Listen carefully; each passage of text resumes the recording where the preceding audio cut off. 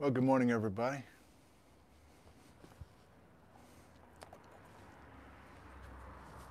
The local time is 8:46 a.m., give or take, and we will begin our program, session B, at the top of the hour at 9 o'clock.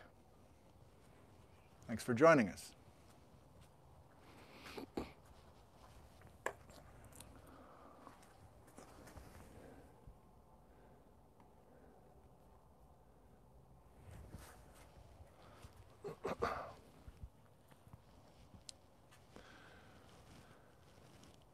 Are we functional?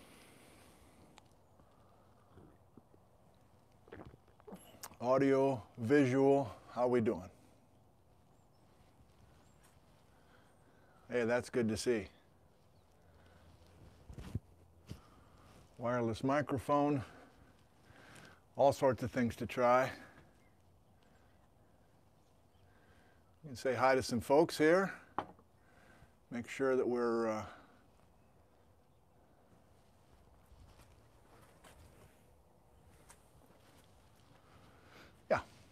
This will work. The night owl from the Netherlands, Garrett, hello. Oh, we have a friend. He heard my voice. Let's say hi to these guys. Come on. You're okay. You're okay. We say hi to these guys. Oh, we've got a friend out here this morning, Mr. Bijou. Uh, would like to say good morning to you all. He's been out enjoying the morning.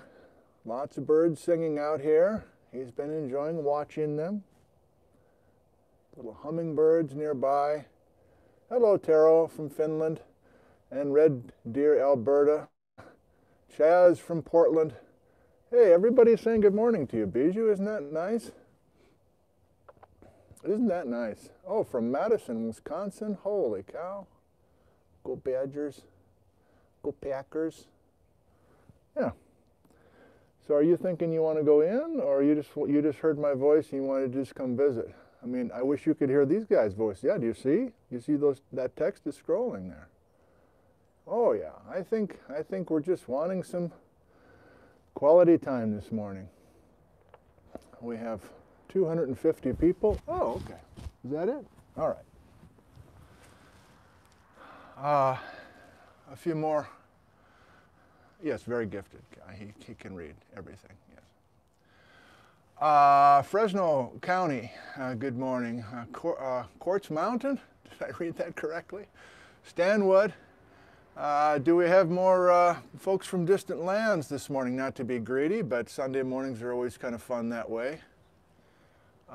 Vancouver, Washington, that's exotic. Hey, Elise in Devon, UK, and Zazu in Belgium, and Russell in San Jose, California. Michael's in Ireland. Uh, Nicola something, in Heidelberg, Germany. Hello. Dartmouth, UK. Denmark. Oh, this is so fun to see. I, will never get tired of this. Anarika in Finland. India.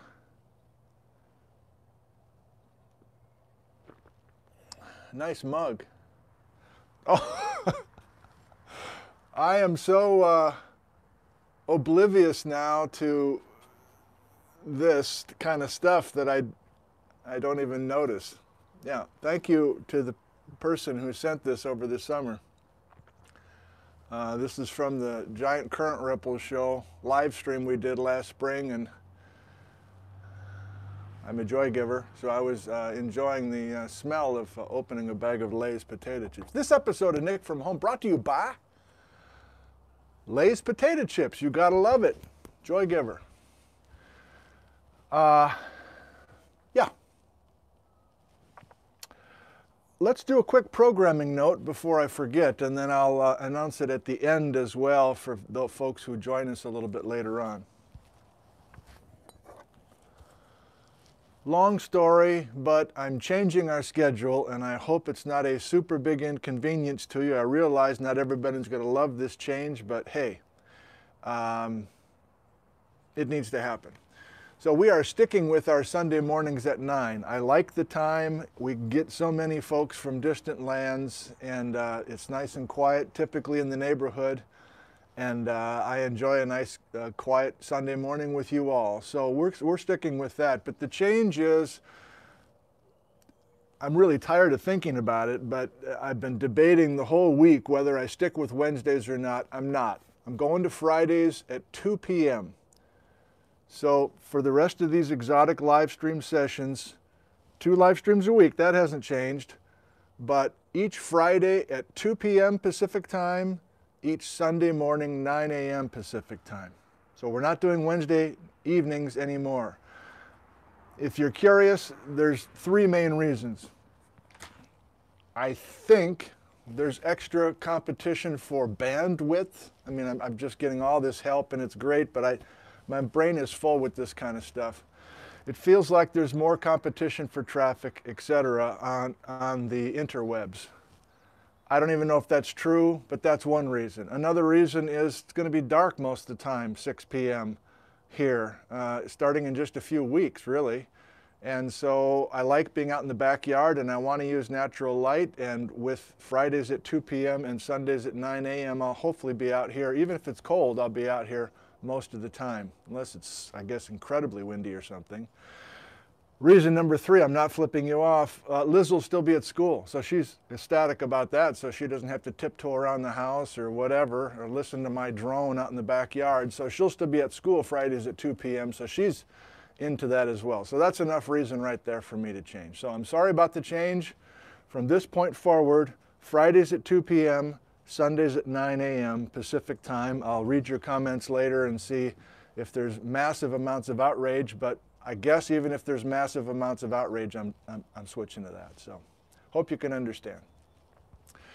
Uh, how about some more hellos to people? We still have eight minutes or so. Uh, it, it is smoky here. Uh, not, it, it's, it's a little better this morning than it was yesterday. Uh, I don't know what our number is for air quality, whatever, but uh, good enough that I feel comfortable being out here.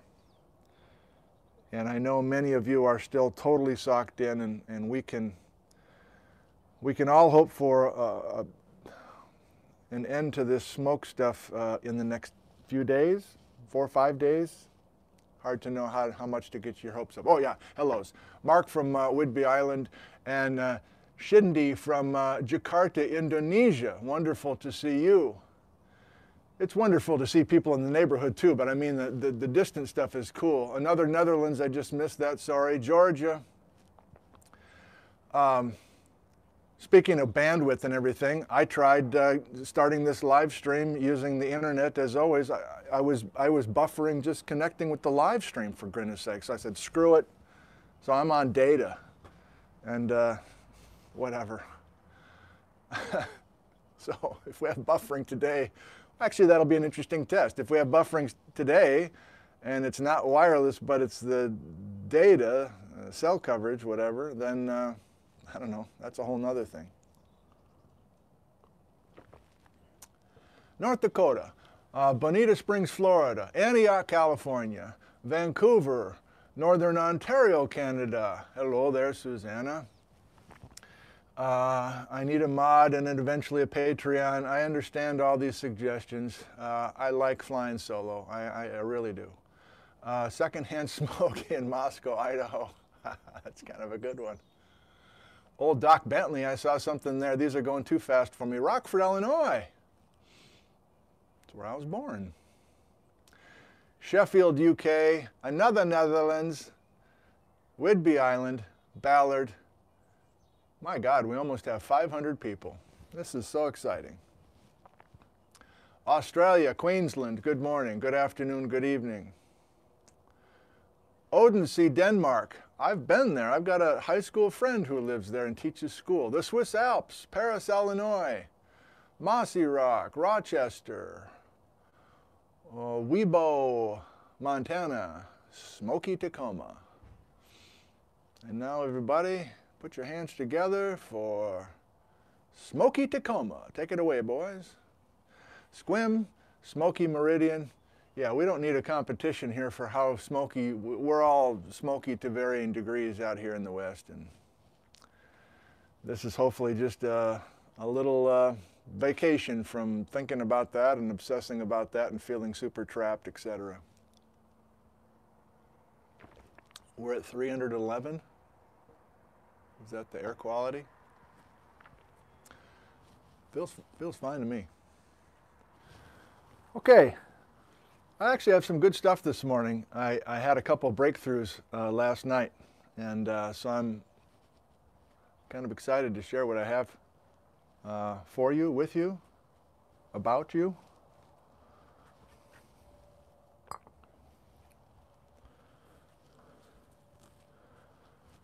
Feels like I'm forgetting to do something here. What is it? That's functional. You're functional. I'll assume that you're functional. Actually, I do. Uh, so the audio is okay. Uh, wireless microphone. I'm not too uh, uh, maxed out. I'm not too loud, etc. There's a chance I have this wireless system figured out and uh, we don't have to think about it. The goal is that I just turn, I just hit a button and I can focus on geology the entire time. And if that means I'm doing cell the whole time, um, I guess that's what it means. And uh, I'll have to figure out that. Terrific. Mic works great. Good investment. Thank you, the Device 9. Train boy. Okay.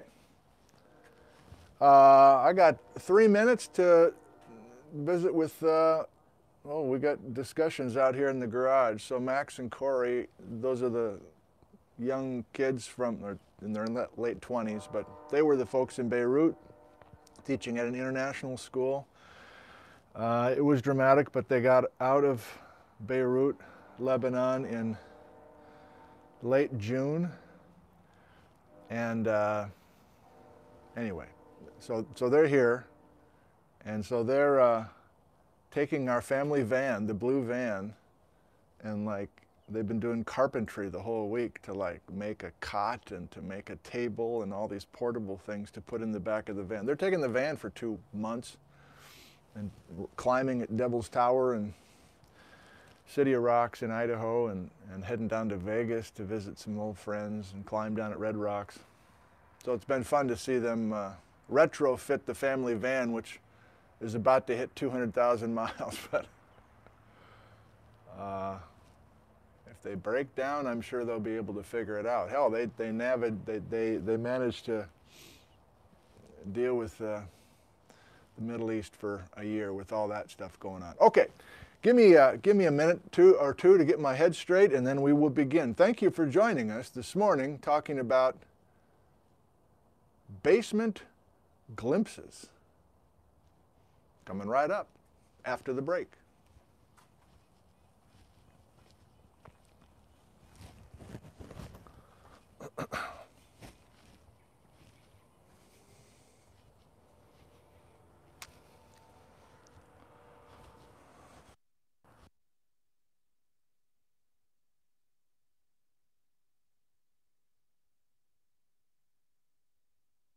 be over here hacking away and spitting and stuff because you can hear me.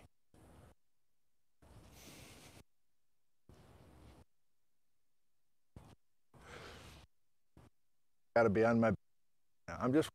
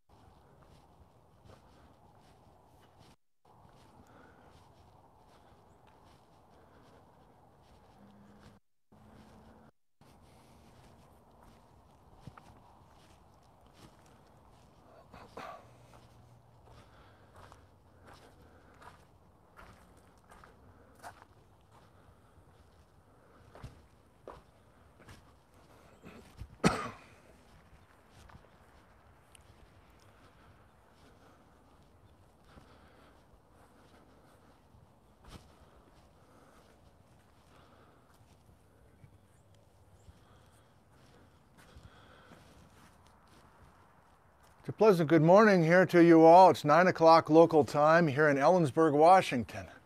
Ellensburg, Washington, USA. I'm your host, Nick Zentner. This is uh, session B of 26 live streams devoted to the exotic terranes of the American West. And uh, I'm going four, I'm planning four sessions uh, in a cluster, and we're in the middle of our first four. Uh, last time, if you happened to see it, I hope that you did because we're going to build on what we did last time. We were just trying to get a time window established for our discussions about these exotic terranes. And here we are this morning with session B, and we will be doing something called basement glimpses. I'll explain. The next time I see you will be Friday, not Wednesday. I've made a schedule change and I just discussed it with uh, the early arrivals. So Friday at 2 p.m. will be our next session, talking about the difference between something called the craton and these exotic terranes. And then a week from this morning at 9 a.m., we'll be slicing and dicing and really having some complications. But that's, that's coming down the road. So I actually have notes. As you know, this exotic terrane material that we will be doing, I'm learning along with you. And uh, if I'm putting these lectures together, I can't just do them off the top of my head like I've done in many past live streams. I'm out of that stuff. I'm out of stuff that I know, basically. So we're going to do this on the chalkboard. We're going to do this on the chalkboard, I guess, without colors. Uh, we're going to do this. So it's kind of a three acts to this morning's presentation. And then, of course, as always, we'll do some live question and answer uh, when I'm through with this. Uh, we have sports fans here, and I'm getting lots of questions. Are you going to be done before kickoff? Hey there, you. Uh, what do you think of the team this year? How those guys go? What what uh, Jaworski's going to be going deep on that shit there? You know, we got lots of stuff. We got that, that a lot of promise. You know, Rodgers kind of a head case, but I think we got some we got some potential there. No, I probably won't be done before kickoff. But I don't know, do you really watch live? I don't watch any sporting events live anymore. I fast forward through all the commercials. So I'll be watching NFL and NBA and everything at Tour de France uh, after this and celebrate the end of our little session here this morning. But I'm all business this morning. Let's go ahead and get started. I don't know, was I all business? I just did that. What was the main message from last time? I suppose I'll say that all fall. I'll keep referring to past streams because these all work together. The main message from last time was that we have this, a geologic timescale for the entire history of planet Earth. We don't really care about the Precambrian, which goes from there to there. We don't really care a whole lot, although occasionally we will, about the Paleozoic era, which goes from here to here. I'm reviewing from last time.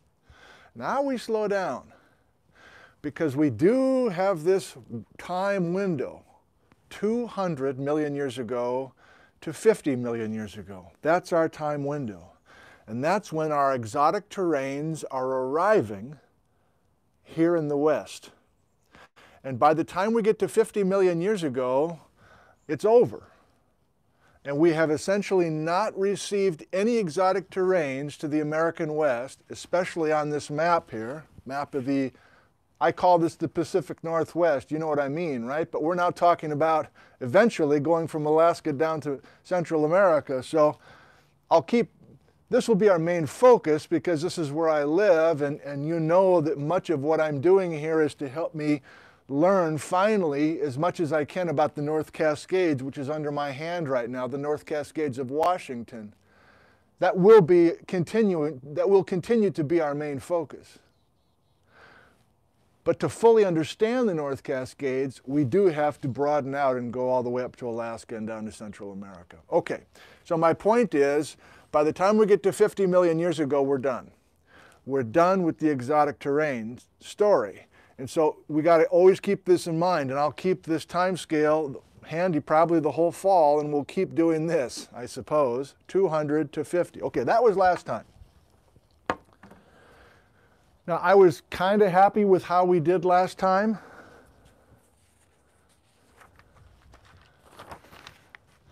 I had the chalkboard filled with topics that we did last spring.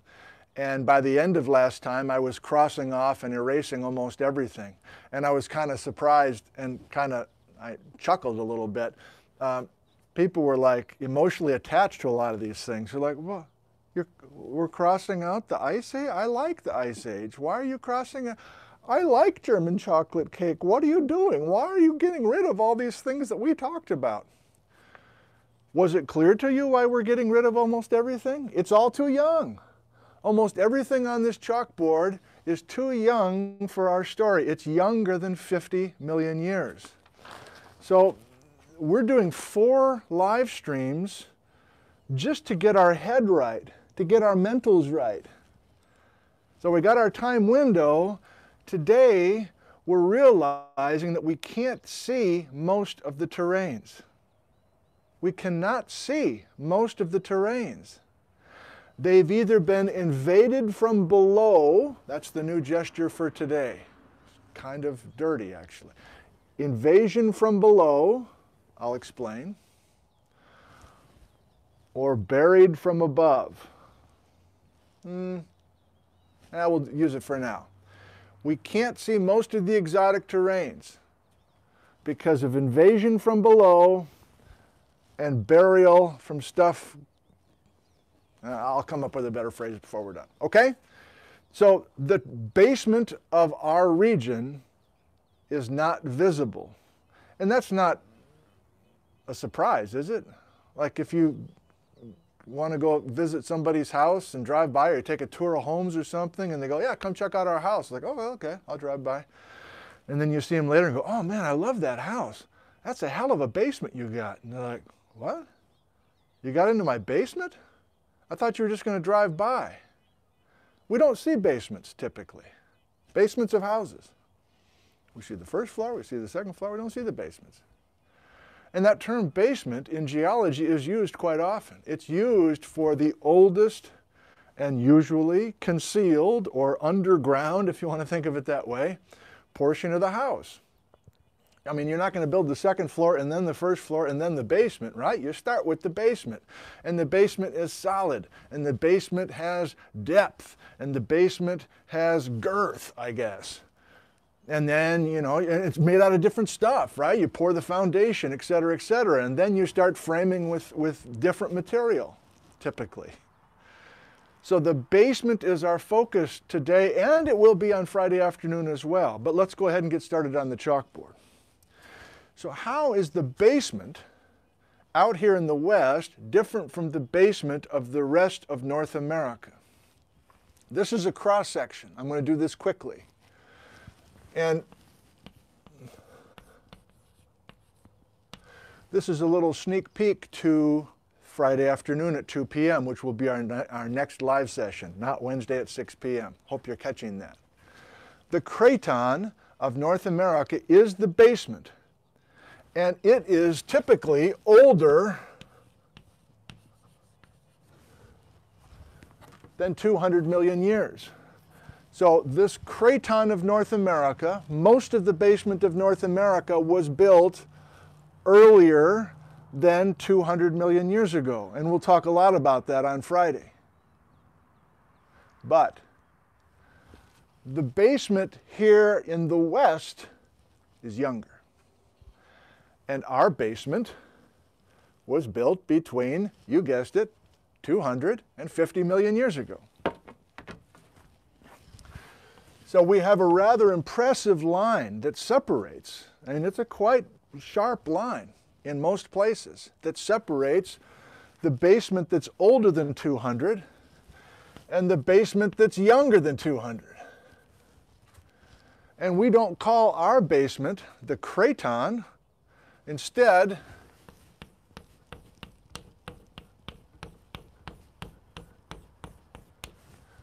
our basement is a bunch of exotic terranes that have been soldered together. Assembled in the last 200 million years. Actually, actually,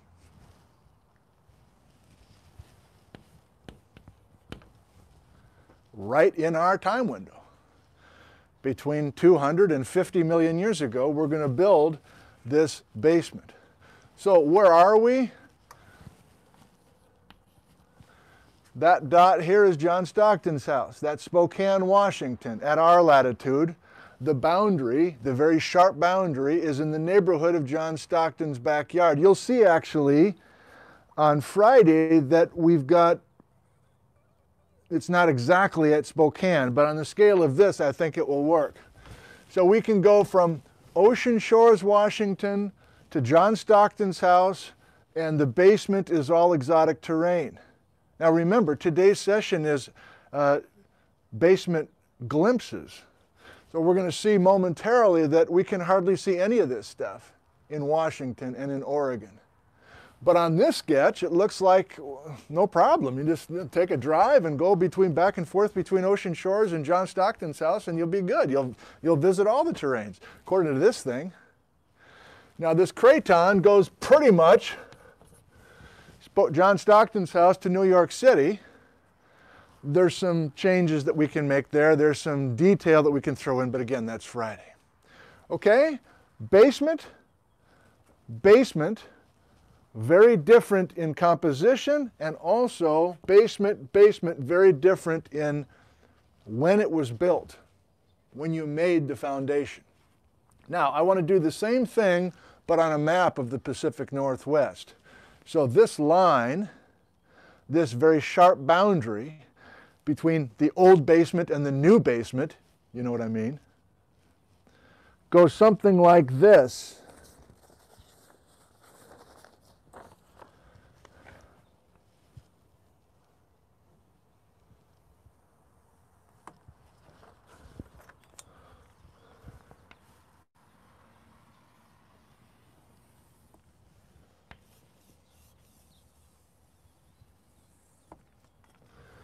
And you're like, how do you know where to put that line? That's Friday. So everything, you know the states, I hope. Washington, Oregon, California, Nevada, Idaho, Montana, Wyoming, Utah. We good? So everything here is the old craton. Everything west of this line is the new craton, is the new basement, is the exotic terranes. So to belabor the point, I don't think this is a hard concept, but to belabor it, I'm going to go ahead and do it.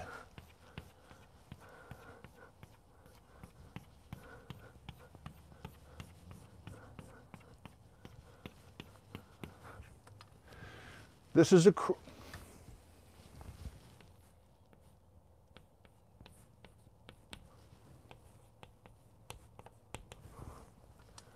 That's a person standing on exotic terrane basement. This is a person standing on old North America craton. And here's that same story, and I'm showing this incredible mosaic of different kinds of pieces of material. That's what a terrane is, by the way. You know what? Uh, I could use some help. I always get asked, why is terrane spelled the way that it is? I think I've looked a couple times because I just keep getting the question. I don't have an answer. It's some linguistic thing or some history of geology thing where somebody in British Columbia came up with that spelling. I don't know. So maybe somebody can find an answer and help me out because I don't want to I don't want to spend another hour looking for that. But it keeps coming up and we'll talk about it on Friday, okay? So exotic terranes, old basement, I think we've got it now. Good. And we will be carefully looking at that boundary time and time again this fall. All right. We can hardly see any of this parquet floor or this fruitcake. And that's really our discussion today. Where do we actually get a glimpse of this thing? And why is most of it out of sight?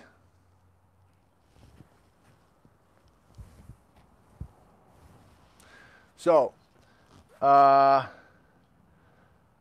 this probably isn't going to work, but I'm going to try it. Oh, actually, I'm going to move you. Can I move you without losing the whole? Actually, can I flip you around first of all? Are you still with us? I'm not going to move the camera until I know that you're still with us. I just flipped you around. Are you still with us? Good, thank you. Now I'm gonna, I don't have Gizmo, but I'm just gonna slowly move you. Patrick's here. I'll give you a chance to see the, we can actually see a little bit of the sun today. That's a victory around here. Okay. I don't have Gizmo, but this is my idea for today. Okay, so I'm going to hold this kind of shaky like this, but it's Sunday morning. I was just reading the paper an hour ago, and I want to share this comic with you. This is Pickles. Let's read this together. I think I'll try it on this outfit. Wait, you're right here? In the husband chair, Earl? Oh, what? Oh, very nice. I like it. Nice and What the? Okay, I'm flipping you around. Good stuff. That's solid gold. Brad says, What the hell is happening? Helen says, What is happening? LOL. Geologically speaking, AKA Todd, gets it. I'm flipping you around. No, it's not mustard. This episode of Nick from Home brought to you by Heinz, established in 1869, tomato cat soup. Do you understand what I'm doing?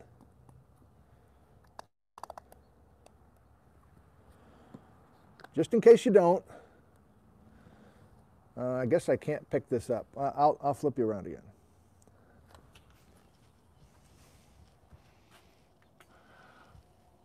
Do you get what I was doing? It was a rare moment of inspiration.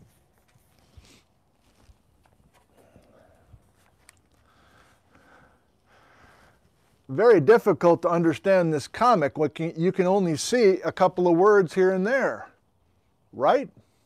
We only get a few glimpses of the first panel uh, the last panel, that's the punchline, I guess, if you call it comics punchline. I've never been a comics person, by the way, but anyway.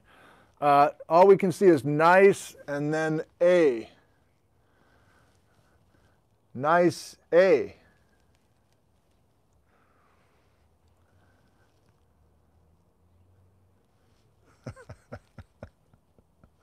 okay, I think you get it. Pretty tough to read the comic when you got a bunch of stuff covering, concealing the rest of the comic. How are you supposed to make sense of that? It's very difficult. So when you go, why is this, why are we doing 26 of these live streams talking about terranes? I mean, they're right here. Just go to, to one terrane, go to the next one, figure it out. What's wrong with you? Well, there are things wrong with me, and maybe with you too. But we do the best we can with the few glimpses that we have. And we don't have the ability to remove the ketchup. We can't just get rid of the ketchup. It's layers of rock, in some places three miles thick. And if I could, I was trying to actually get greedy and think of another analogy with this, I actually like um, invade the comic paper from below.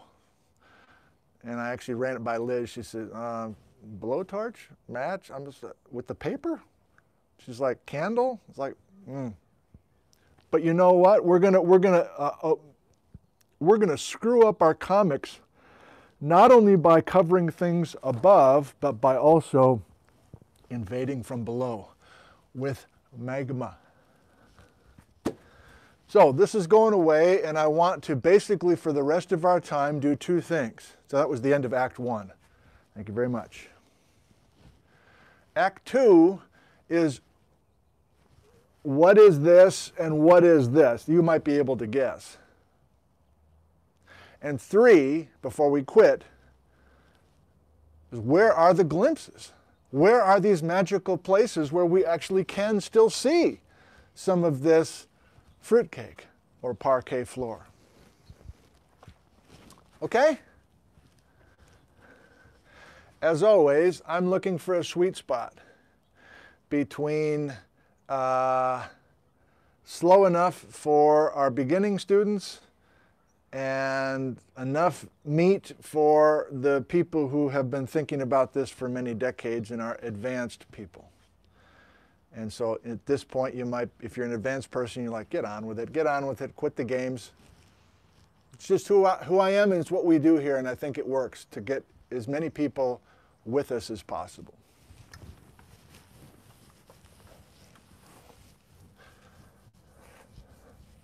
It's a pleasure to be with you this morning.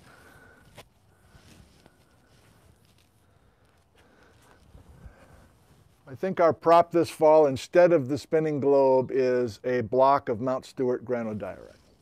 93 million years old.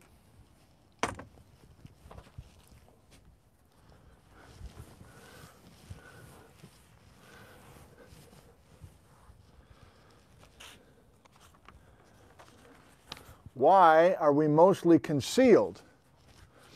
Why is most of the terrane basement here unavailable to us? I want to focus on Washington and Oregon.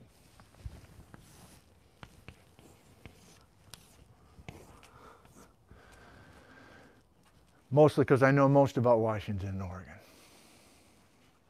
But there's other reasons we're focusing just on Washington and Oregon. Okay?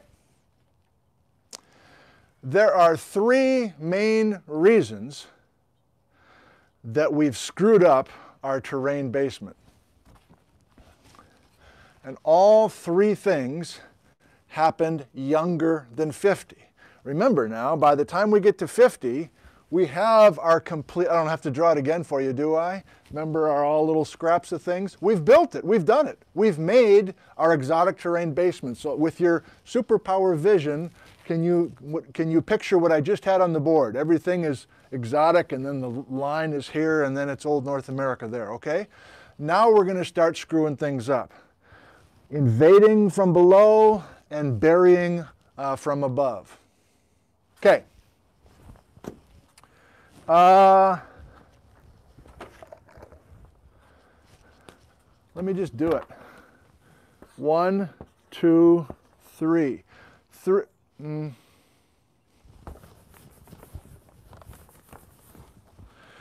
We have some things that happen in the Eocene,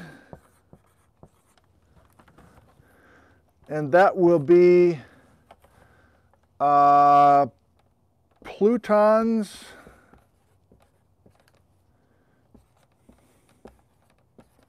and sediments. I'll explain. Uh, we it looks like I'm distracted. I'm just thinking. We have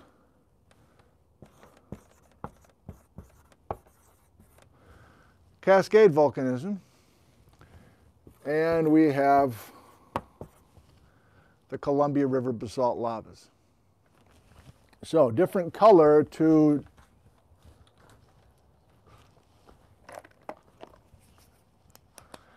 talk about whether we're invading from below or burying from above. You can maybe guess. Uh, uh, plutons are going to be invading from below. Oh. That's dumb. I'll just do it. I'll just do it. Okay? So you're like, I don't know what the Eocene is. I don't know what the Eocene is. We didn't have the Eocene on our time scale last time, but we do now. So in the Cenozoic era, we have the tertiary period, which goes from 66 million years ago to 2.6 million years ago, and then we have the quaternary period, that's the Ice Age. But the tertiary has been split into smaller units of time, and the only one I care about for our purposes and for Washington's purposes is the Eocene epoch, which goes from 56 million years ago to 34. So we'll refer to the Eocene a fair amount And if you're really into this and you remember some of the details from last time, my whole motivation for doing this is to eventually contribute to Mike Eddy's research team. And they're going to be looking at Eocene magmas in the North Cascades and other Eocene uh, structures. Not really our topic. It's not in our window, even though it's close. But the Eocene is too young, basically, mostly for our story. There's overlap here a little bit, obviously. So this is the first main way that we're going to screw up our terrane basement. A little disjointed now, just hang with me. Are we doing okay? Five by, Haley, we're five by five, no buffering, no buffering? Okay.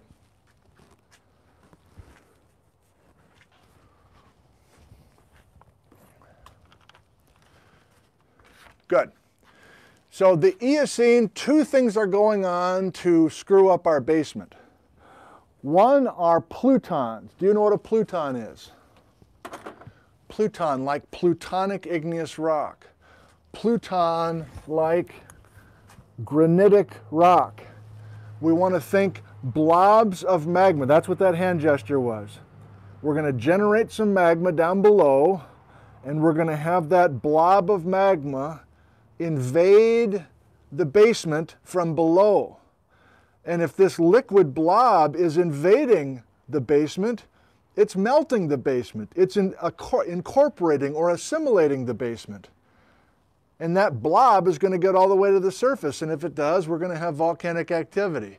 But the only concept we need is that we're going to screw up some of our basement by having these mysterious magma blobs invade from below and interrupt our comics.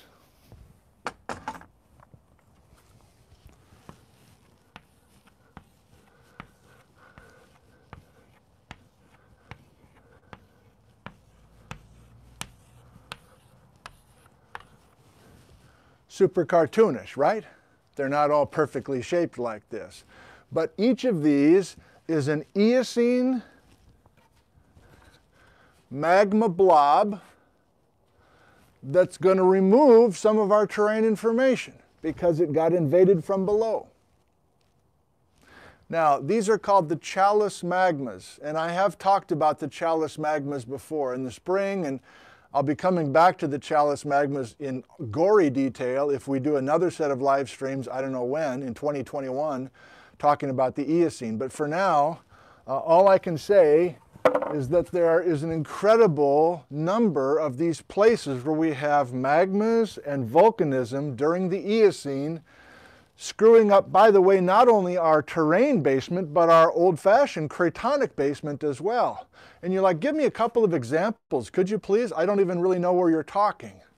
Well, locally, um, the Teanaway Formation, Liberty Gold, Ellensburg Blue Agates, you want another one? Uh, I'll, I'll do that one here.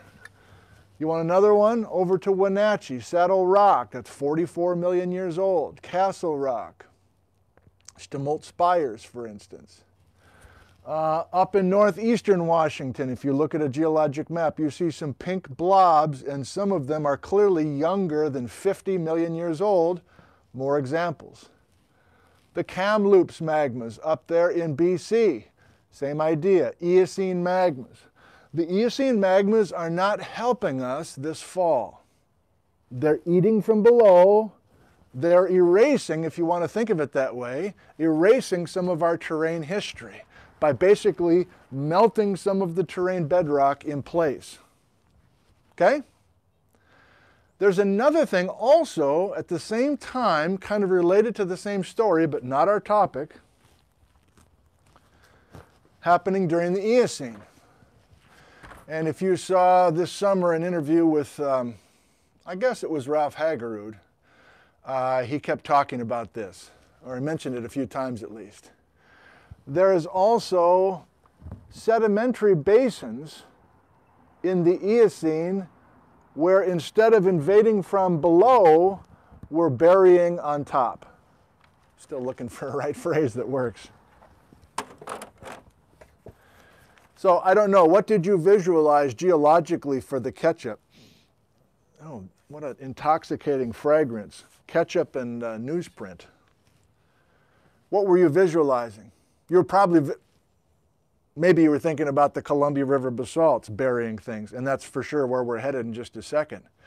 But in a way, these Eocene sedimentary units are also burying on, a, uh, burying on the surface. I'll just say that. Burying on the surface. Okay? So, what do those Eocene sedimentary basins look like? I'll give you a couple, again, cartoonishly.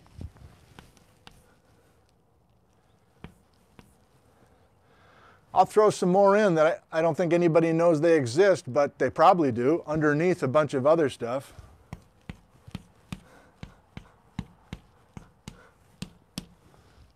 Okay, what am I doing?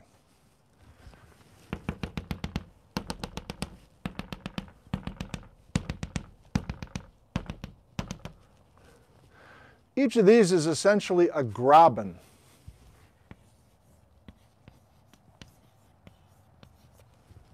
We have some German viewers. What does graben mean?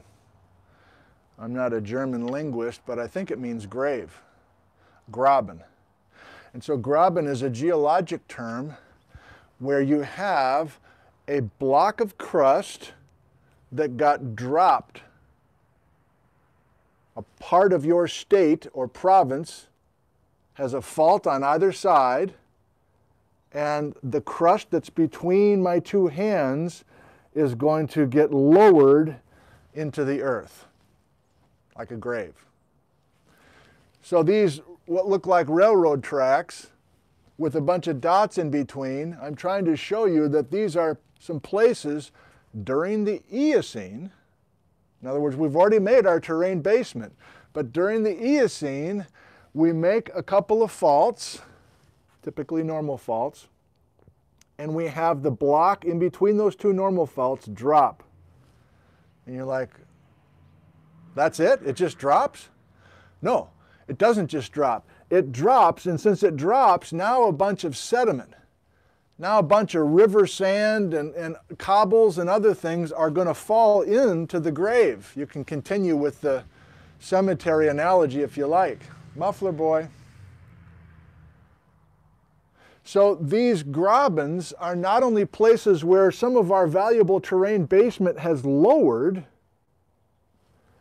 we have Eocene sediment filling the grave. And so we've lost more of the comics. So this is more burial than it is invading from below, but it's not really just ketchup flowing over the surface. It's like, I don't know what, taking a razor blade and cutting the comics, lowering the comics, kitchen flour, blowing it in, whatever. Okay? Do you have the concept? And you're like, well, give me a, give me a couple of those. Give me a couple of examples of those. I'll just do it verbally for you. Think. What's it called? Good thing I have notes. The Republic. Have you heard of the town called Republic, Washington? It's famous for fossils. You go up to Republic, Washington, you take the family, you take your little rock hammers and your toothbrushes and everything because of your notorious bad breath that you have as a family. We know about you. And that Republic Graben is full of Eocene leaf fossils. Why?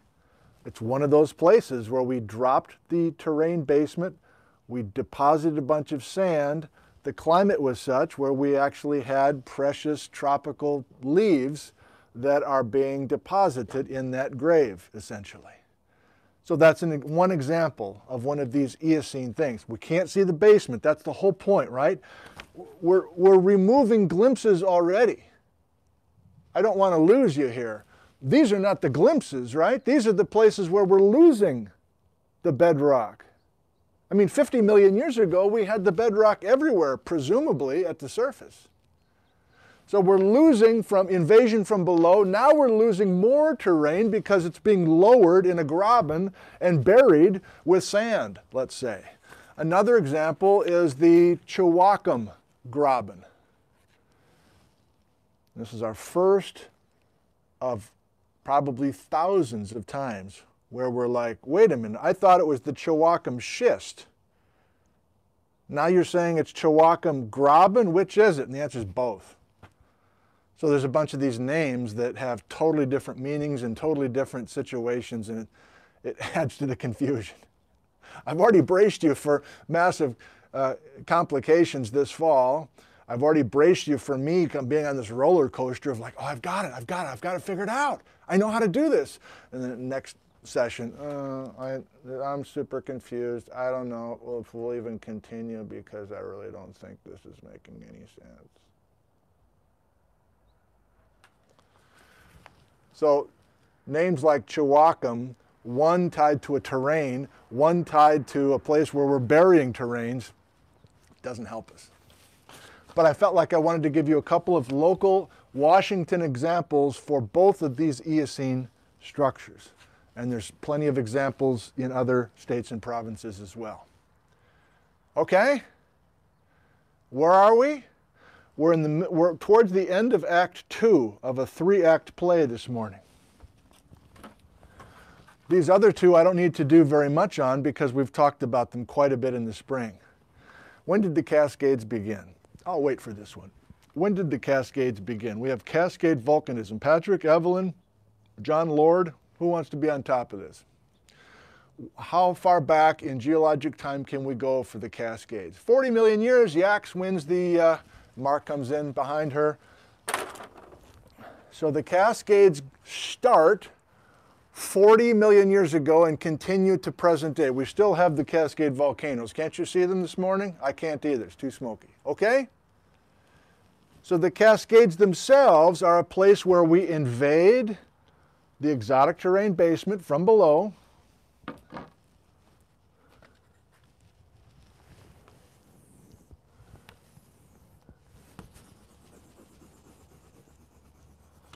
I'm going to do this.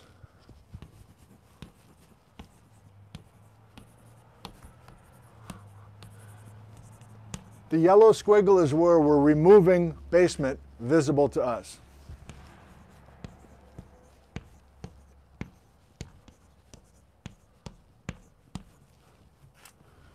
Okay?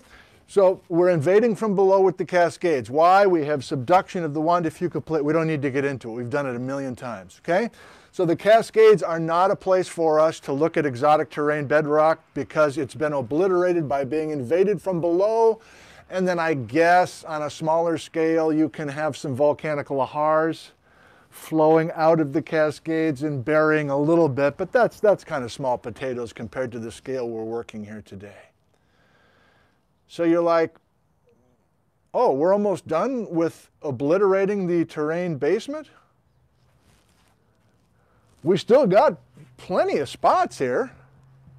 I think we're good, you might be saying. We're not good. You know what's coming. We're going to bring in a lot of ketchup. We're going to bring in a lot, a lot, really a lot, a lot of ketchup.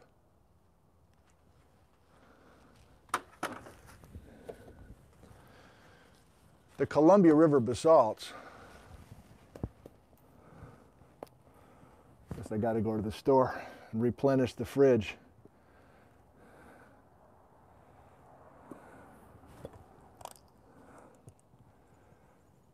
If we're going to open up some fissures 17 million years ago,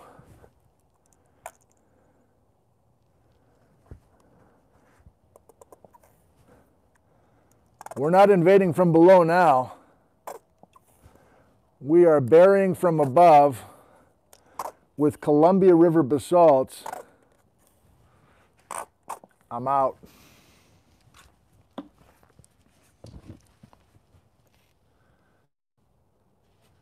If it wasn't for the frickin' German chocolate cake, aka ketchup on the funnies,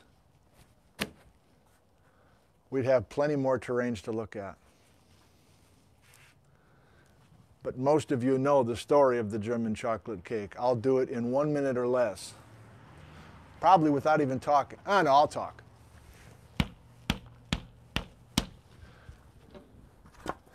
Seventeen now. We're in the Miocene. We're out of the Eocene. 17 million years ago, we begin this freak show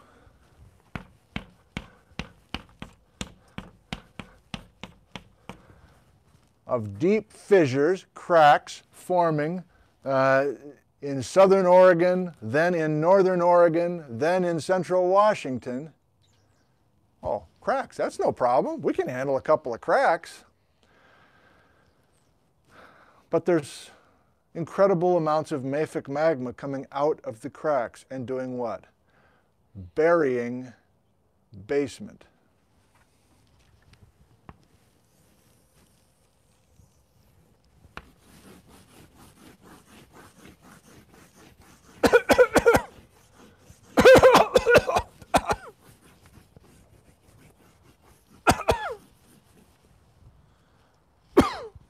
Sorry. Mostly for dramatic effect.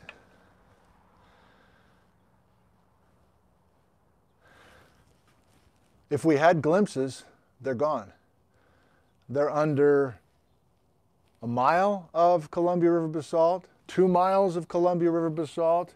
At Tri Cities, Washington, they're under three miles of Columbia River basalt. That's a lot of ketchup. There's no glimpses. And much of eastern Oregon either has Columbia River basalt or something called the high lava plains, but Oregon is even more full of tertiary lavas and quaternary lavas that have done incredible amounts of burial. So at this point, it's almost a miracle for us to see any terrane basement. We went from the beginning of this second act thinking we should have terrane up the yin yang, and now we realize, especially where we had the flood basalts, there's essentially no exotic basement to study. No glimpses. Or is there? Yes, even with all of this stuff, I haven't even talked about the ice sheet coming down and bringing till and burying stuff, but I'm kind of leaving that out. Even with all of this, we do have some places, some precious places in Washington and Oregon where we actually can see. It's a miracle. All that stuff in the Eocene and the Miocene and the Quaternary, maybe it was buried at one point, but it's been uplifted since, but we can actually go and get our hands and our rock hammers on the exotic terrane basement. Are you finally ready to see where the terrane glimpses are? I was going to draw it all out, but it's already quarter to 10. So I think I'll just try this.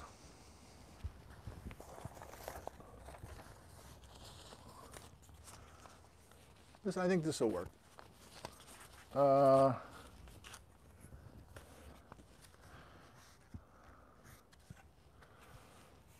let's start in Oregon.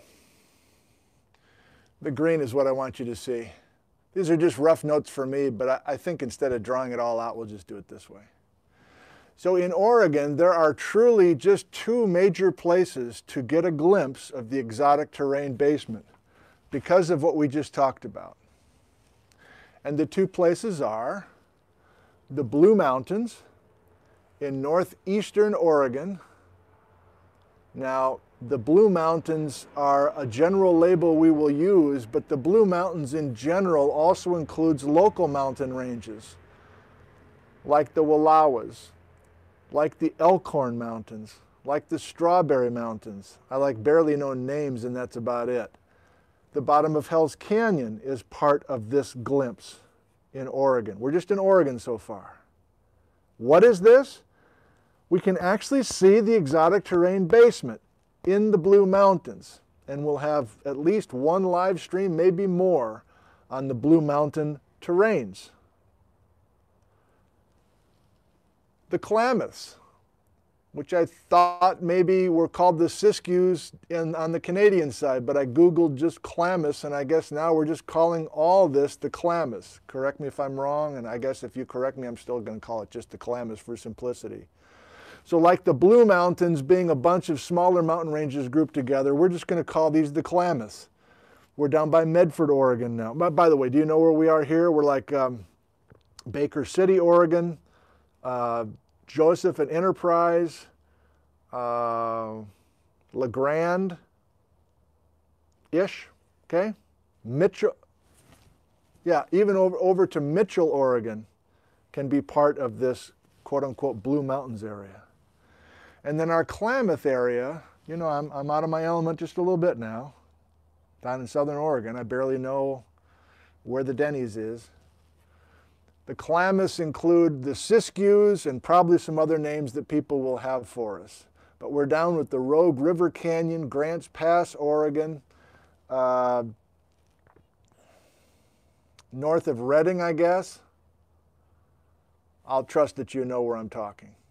So these are the two main spots we're going in Oregon. Out of the entire state of Oregon, we only have two significant glimpses at the exotic terrane basement.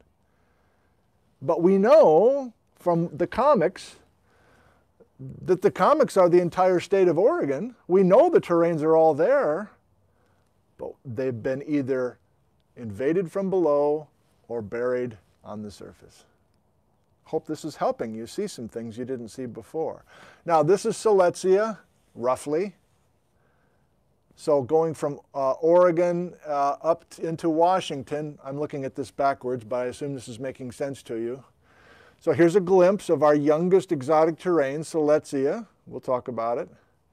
On the true coast, we have sediment that's been crammed in since Siletzia was accreted, so that's kind of burial, essentially, of an exotic terrane. And you're like, well, well, let's go to some place where we can really see the terranes then. If you're just talking about these dinky little windows, okay, let's go to the North Cascades. That's the whole point. Look at the North Cascades in Washington. Ellensburg, Washington, John Stockton's house, Seattle, Washington. Look at how much terrane basement is visible. Now, are there some Eocene eating from below? Yes.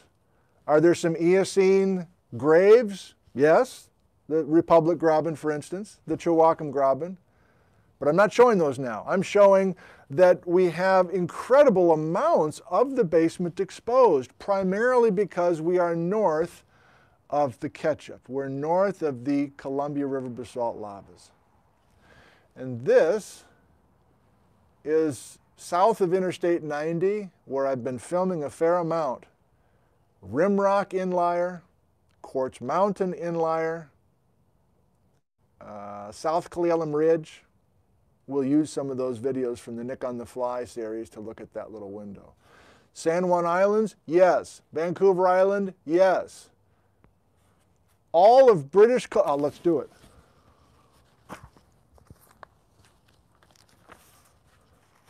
Actually, before we do it. So here's a very colorful, almost uh, garish uh, collection of, of colors but I'll, I'll just freeze frame here for just a second and give you a chance to make heads or tails. This is the state of Washington. Yellow is a weird color for the basalts, but let's go ahead. So now we're doing mustard instead of ketchup. And there's a lot here that's going to be confusing to us, but my only point is if we look a little bit more carefully in northern Washington, the light green, exotic basement. The dark green, exotic basement. This green, exotic basement. This deep red, I'm reading backwards now. Invasion from below, but in the Mesozoic. So I, when we're in our time window, I'm getting excited now. If we're in our magic time window, we can have eating below, and that's part of the exotic terrane story. This is eating from below. This is the Mount Stuart batholith, a plutonic invasion from below. But the difference is If we're invading from below between 250, we're good. We want to study it. That's part of the exotic terrane story. As opposed to our Eocene invasions from below, not helpful to us. I hope you see that distinction. That's a big distinction. And it might give it, we might need a few tries to really make that clarification in our minds. I'll give you a few more minutes to look at this is the Eric Cheney compilation. Eric Cheney, longtime University of Washington geology professor. He was kind of lumping things by time frame and, and bounded by uh, unconformities. I, I won't get into it. But my main point is we are going to the Okanagan Highlands to look at terrane basement. We're going to the North Cascades foreshore to look at terrane basement. We're going to the San Juan Islands to look at terrane basement. It's a miracle, but we can actually see the comics page in those places.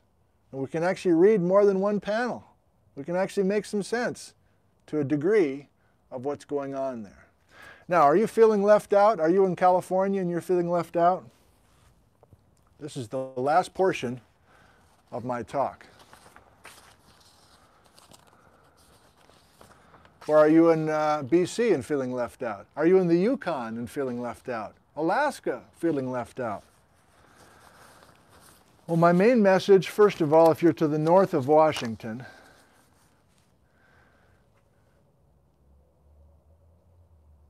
there's hardly any ketchup up there.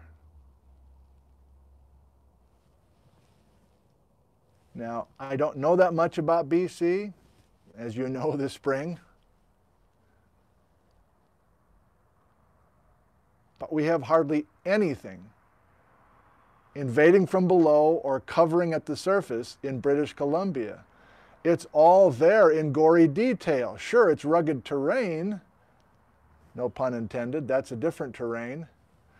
But British Columbia, Yukon, Alaska, boy, there's a lot of exotic terrane. That's not a glimpse.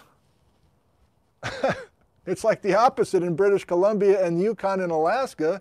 There are glimpses of cover. You know, that's, I, I should almost do it differently. This whole thing for this area, I should have the comics page and just have a couple little squirts here and there. There's hardly anything covering the comics page in British Columbia, Yukon, and Alaska. And you're like, well, why don't we go up there then? Why are we going to spend so much time in the North Cascades? I hope you remember the answer. I live in Washington. I'm going to be part of this scientific team working in the North Cascades. So I have to stay in northern Washington for a bunch of reasons. But we will come up here to help us put North Cascades, Washington in context with a bigger picture. Now, if we go far south, if we go south of Oregon, are we in better shape?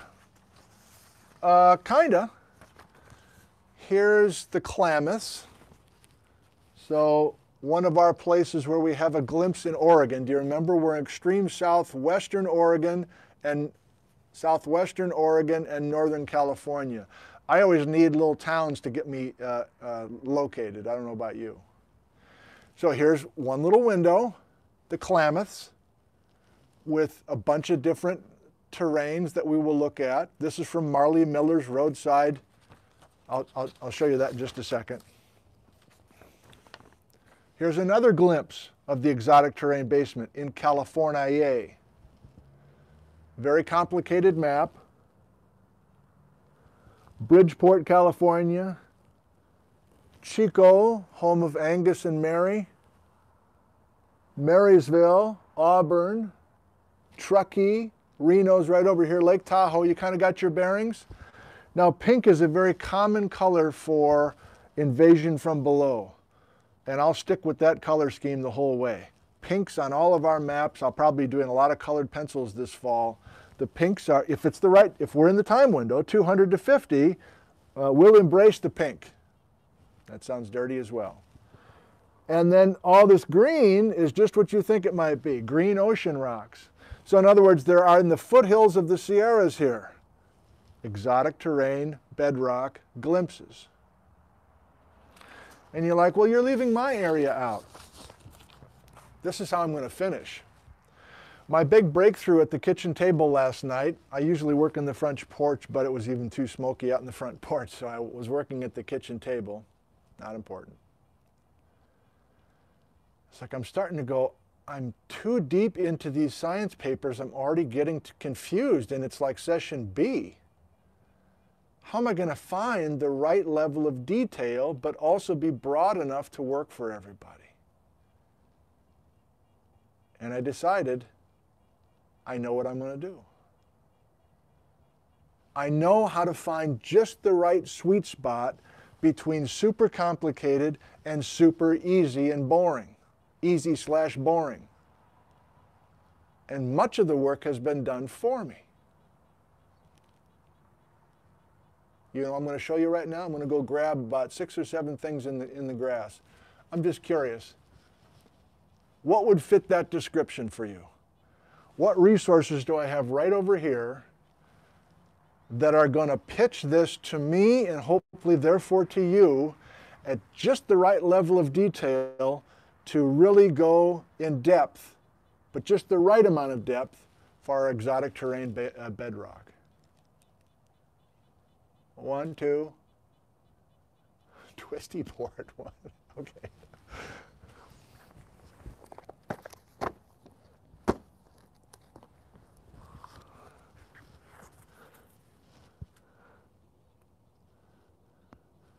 Well, you wanted reading assignments, didn't you?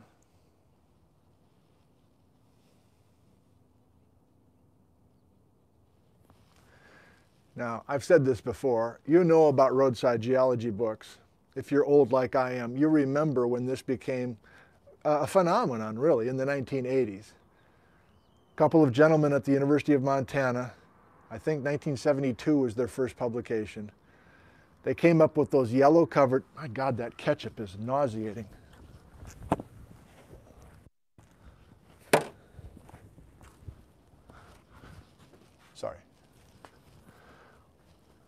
The roadside geology books of each state came out starting in the early 70s and continued through the 80s and probably later than that. And I firmly, uh, distinctly remember a bunch of geologists that I was learning from and working with in the 1980s. And they would say, oh yeah, roadside geology of Idaho, right, okay. It's not that easy. It's, it's not that easy like my area, like they didn't even like address it. So those books are, are worthless. Well, they're not worthless. These books are not geared towards the deep research people. Yeah, it's not that easy. No, we know what the role of these books are. It's pretty much the role of what I'm trying to do here. We respect the audience. We know there's intelligence out there. We know that there's not a lot of deep geology knowledge for good reason. It's not taught very much in the classes around the, at least in this country. And so those first generation roadside geology books, all that having a yellow cover, served a nice role to popularize geology. But I'm here to say almost all of those roadside books have a new second edition. And by new, I mean in the last decade or so. And they're no longer yellow covered. And they are rich in illustration, they are rich in photos, and they are updated on the latest info that we have in these regions. And so my breakthrough, I've had these books for a few years, but my breakthrough was this is the level that I'm shooting for. I don't know southern British Columbia. I don't know. I got one for Alaska. Where's that? I don't know Southern California. But let's go south to north. Let me just give you a little taste of more glimpses, since this is we're talking about glimpses of the basement, I'm not going to be comprehensive here, but let me just give you a few more examples. Roadside Geology of Southern California. There's the author.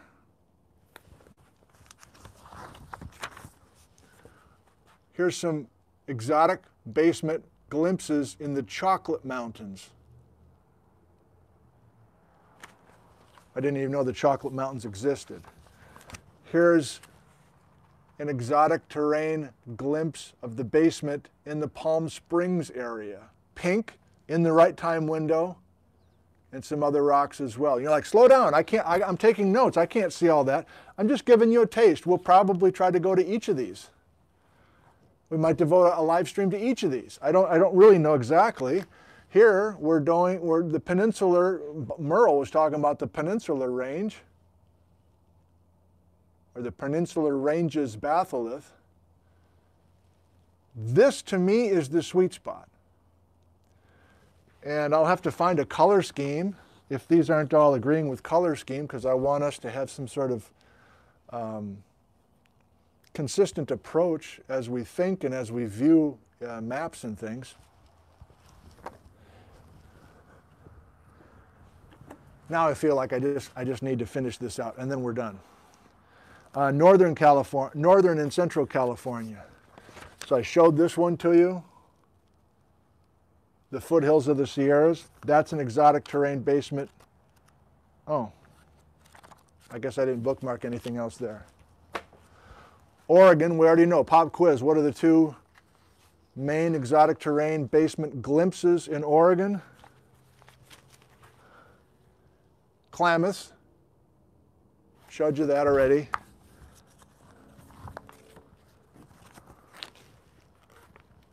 Blue Mountains. The other exotic terrane glimpse. Oh. You got your uh, bookstore page out already. So this is uh, the author here is, oh, these are the Montana guys still at it. I think one of them passed away recently. Uh, I've plugged this many times. Marli Miller, the author of second edition of Roadside of Oregon.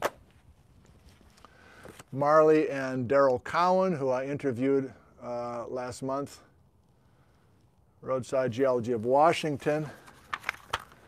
So Siletzia is a glimpse. San Juan Islands is a glimpse. Again, we'll probably do a full session on each of these locations. North Cascades, this is probably, I don't know, what do you think, like six different sessions just on the North Cascades? Probably. That's like the bullseye for this whole thing. Okanagan Highlands, including a couple of the grabens that we were talking about. I'm almost done. Roadside Geology of Southern British Columbia, Bill Mathews and Jim Monger. I think Bill's no longer with us. Possibly Jim Monger still is. Uh, not quite as colorful, but the content excellent. Southern British Columbia. And then I do have Cathy. I don't know Cathy. Probably try to email her and get some info from her. More than a glimpse in Alaska.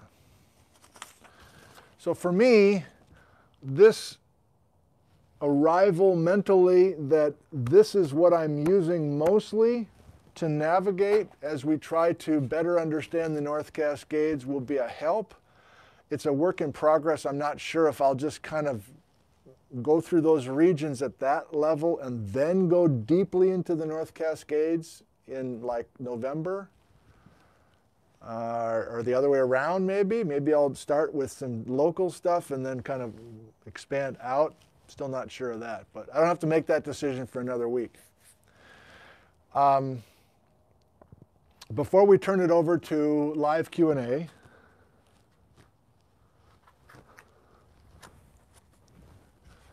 and before I lose some of you to the NFL or the NBA or something else, I want to make sure that you know that I've made a schedule change and we're switching to Fridays instead of Wednesdays for reasons I discussed at the beginning of this session. I will see you all next Friday at 2 p.m. going back to the concept of terranes versus craton. Okay, let's go to some live Q&A. It's your turn to ask some questions. I'm glad that you're still with us.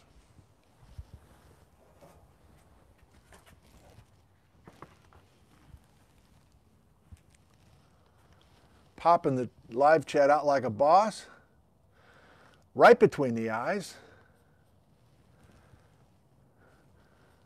I'm on top chat. I don't play that game. I'm a live chat, bro.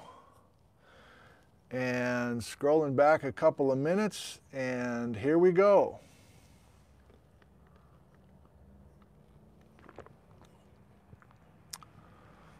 Matt, I was always wondering how much exotic terranes exist near Warm Springs, Oregon on Highway 26.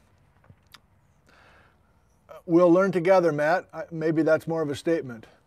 Jeff, the Blue Mountains were the only thing sticking out of the smoke. Okay, I need some questions here, please.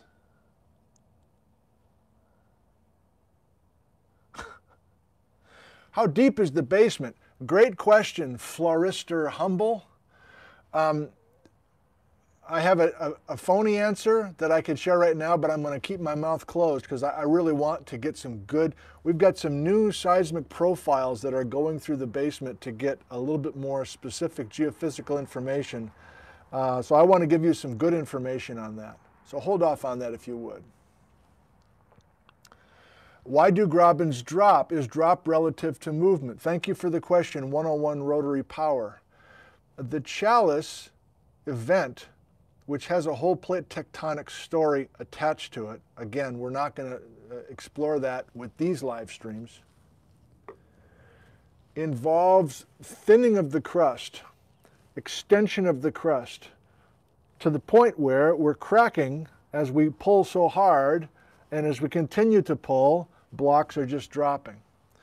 So it's similar to the Basin and Range Province in Nevada today, which we will discuss next, next Sunday morning. Thanks for the question.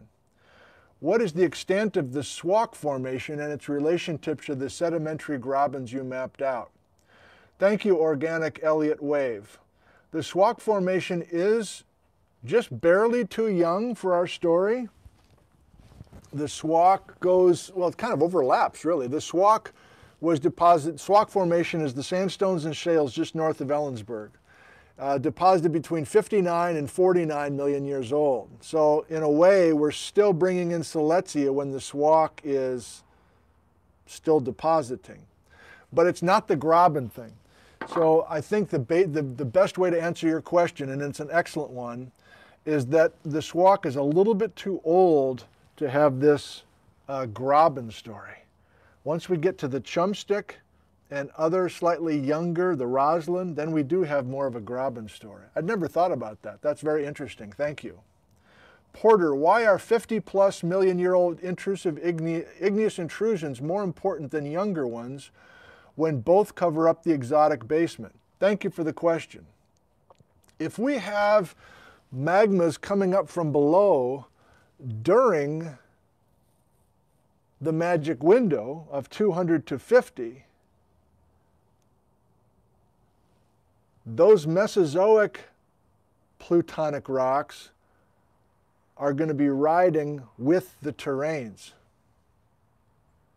I'm choosing my words carefully, but it's related to Baja, BC. Uh, but I take your point in the sense that anytime we bring magma up from below, we're destroying some of the terrane bedrock. But I guess another way to say it is those Mesozoic plutonic rocks are like, they're terrane material. I know that's kind of a weird answer, but uh, it's a good one, and I'm trying to th think ahead on how I'll deal with that in the future. Maury Longo, what keeps a graben from falling all the way into the mantle? It's just a space thing. We're extending the crust, but we're not extending it, you know, 3,000 miles. So it drops just if there's space to drop, but it's, it's uh, and there's other physical ways to answer that that I don't know how to answer. German Chocolate Cake asks, why can't you drill through the Columbia River basalts to view the basement? That has been done. So oil and natural gas people have been here on a number of occasions in the last 50 years, and they have drilled at incredible expense to try to figure out how thick the ketchup is.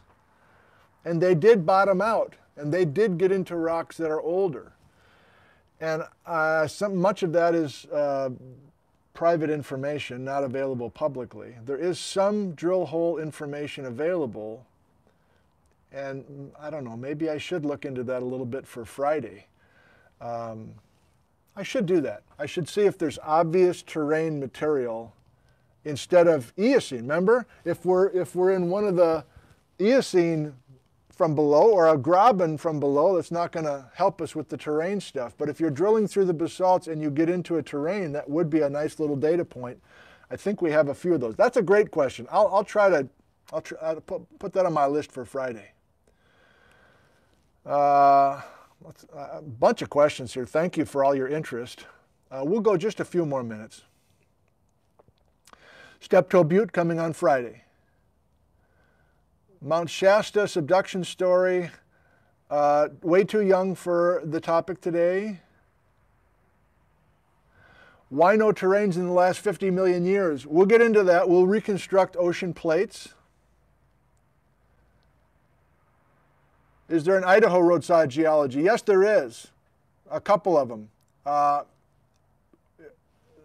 it's too far east for our terrane story, but there's a brand new roadside for Montana that just came out last month by Rob Thomas. And uh, uh, I can't, I don't know who did the Idaho one. There's one for southern Idaho by Shawn Willsey. Why are there so many Grabens in Washington? It's more than just Washington, Chris this Graben thing and this, this Eocene blobby stuff is, is all through many states and provinces even. So it, again, too young for our focus this fall, but it's, it's an interesting thing that I'm, I'm just learning more and more about.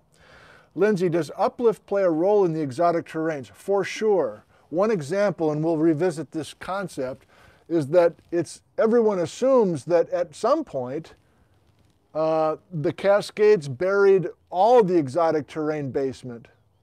But since there's been so much uplift in northern Washington recently, much of that Cascade cover, ketchup, has been removed. And so we can see a lot of exotic terrane basement just to the north and south of Mount Baker, for instance, that you just can't see in southern Washington. So there's way more Cascade cover in the south than there is in northern Washington. So uplift is a big story. Three more and we're done. Why is BC devoid of fissure ketchup? Uh, well, there are some flood basalts in BC. I still haven't learned much about them. So there are some fissures and there is some flood basalt, but not nearly the scale of this. And I really don't know what I'm talking about now, but most are tying all this to the Yellowstone story, hotspot. And I know there is some kind of hotspot story up in BC, but I, I don't think it's near the scale of fissures and area buried. But again, I might be out to lunch. Two more. Are exotic terranes leftovers from our subduction zone? Yes and no. And we'll get into all. I think one thing I definitely want to do with this series, I don't know when we'll start, is I think it's important for us to go to these terranes and just lay out some facts. And that sounds, of course you would, but I think that needs to be separate from this is from an island arc, and the trench was here, and then the subduction was going this way, and the thing was moving from wherever. There's so much disagreement and different kind of ideas about that that that's where it's going to get super complicated for us. But I think it's important. I think I decided right now. I think it's important for us to just go and collect the best info that we have from each of these glimpse locations. And that's not going to change. Those, those are facts and then we can feel comfortable then saying, well, this is a subduction related thing. This is not. This is a hotspot generated thing. This is a coral reef from wherever. You know what I mean? I think we need to do that, lay it out that way. There's so many questions here. Wow, I'm, I'm really excited that you have this much interest, uh, but I do want to wrap up. Uh, why is Northern Exotics more linear and not so obviously chopped up? The chop, the slicing and dicing comes uh, next Sunday. I'll put I'll put you off.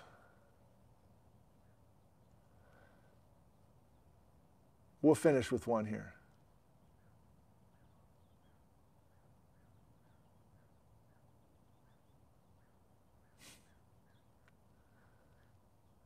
That's how we'll finish.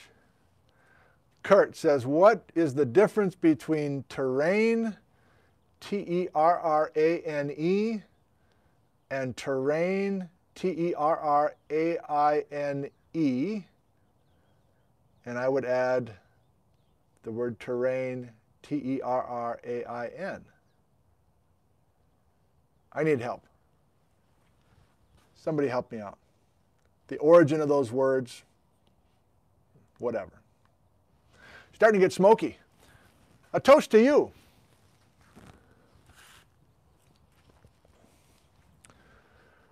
Thank you for joining us here in the backyard this morning. Here's to your health.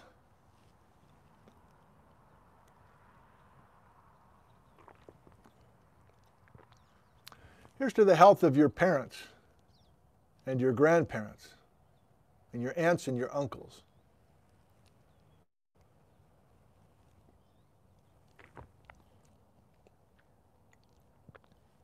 Here's to the health of your children and your nieces and your nephews and your grandchildren, and your great great grandchildren. Here's to their health, physical and mental health.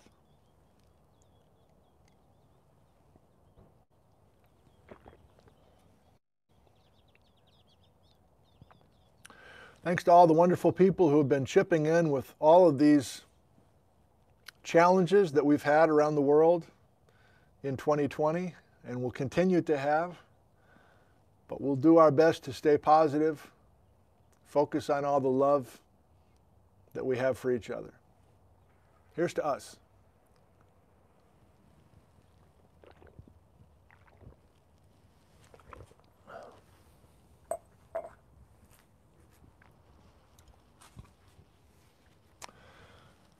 I'll see you next time, Friday afternoon, 2 p.m here in the backyard, hopefully, with clear skies. We can hope, can't we? And then if that doesn't work for you, I hope that you can watch the replay because each of these sessions are going to build on the last. And so next Sunday morning, and this is our reg regularly scheduled time, probably for the rest of the fall, although who knows. Thanks, everybody. Appreciate you joining us. Have a good week. We'll see you Friday afternoon at 2 p.m. Goodbye.